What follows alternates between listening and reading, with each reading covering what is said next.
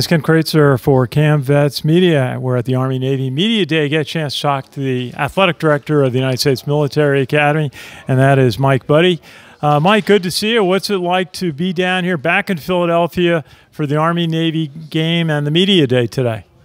It's great to be here. I mean, it, obviously, it's great for several reasons. One is it means kickoff's getting closer, um, and then number two, it's always it's always a great event. Love to hear um, the captains speak and interact with, with people here in Philadelphia who embrace this game extremely well. And so, I'm really excited to be back and um, excited to count down these last 10, 10 days or so. A lot going on. You had your men's basketball team in London this week. Uh, your uh, women's soccer uh, captain, Lauren Drysdale, was first captain of the Corps of Cadets, and uh, and Ethan Bergen from the wrestling team, the 125 pounder, pinned his opponent from Iowa when they were at West Point a couple of weeks ago. Uh, uh, what have been some of the highlights for you this fall? Well, I mean, you just mentioned several. Um, certainly getting off to a great start wrestling. Um, really proud of our soccer programs. Um, both Tracey Chao on the women's side and Brian Plotkin on the men's side named Patriot League Coaches of the Year, um, regular season champions for both of them. So really successful there. Alma Kavachi Lee continues to have our volleyball team playing at a high uh, a high success rate. Uh, co-champions in the regular season of the Patriot League as well. And so uh, it's been a, a great couple months here. And you know, this is that little overlap where the fall teams are wrapping up. The winter teams are in full full force. Coach Riley and the hockey team uh, as busy as always, and so it's an exciting time to be an athletics director. And you got your uh, two football captains here, uh, tremendous leaders, Marquel Broughton and Connor Bishop, and Coach Monken. What is it like uh, uh to bring uh, you know your leaders from athletics to uh, the Army Navy game?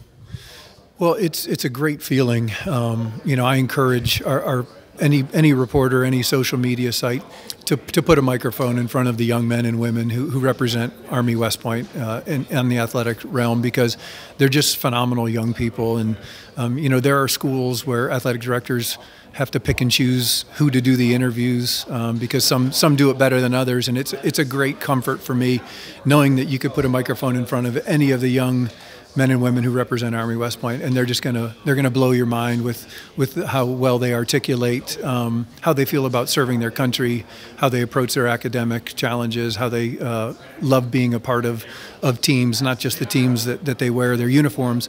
Uh, but the Army team as well. And so, you know, that starts with Coach Monken and his staff. And certainly, uh, the more time you spend with Connor Bishop and Marquel, the more impressed you are with, with who they are as human beings. And that's, that's a great comfort for me as an athletic director. Absolutely. We enjoy talking to all of your athletes, your cadets uh, during the course of the year. Now, you got a big project that's going to start happening soon with the uh, reconstruction of the East Stands at Michie Stadium. Uh, I understand it's going to start uh, next year. What can you tell us about uh, how the project is moving forward? Well, you know, we had a phenomenal um, announcement uh, in July of, of last year, and, and, we were able to raise nearly $100 million in, in about 10 months um, that's put us in this position to go ahead and break ground uh, after graduation uh, in 2023.